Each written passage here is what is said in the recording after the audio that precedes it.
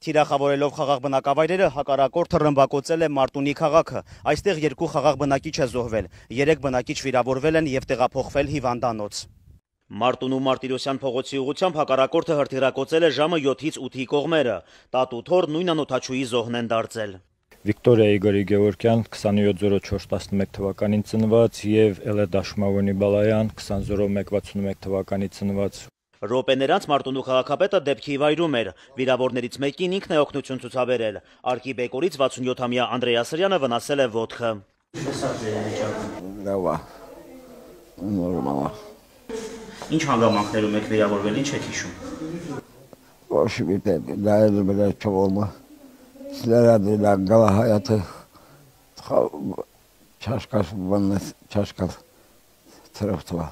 Ավելի ուշ հայտնի է դարձել, որ հրթիռակոծությունից Մարտունիում վիրավորվել էր եւս երկու քաղաքացի։ Բժիշկները վստահեցնում են վիրավորների կյանքին վտանգ չի սպառնում։ 5 հոգի վիրավոր ունենք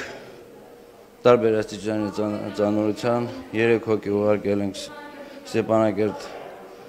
ռեսպուբլիկական հիվանդանոցը,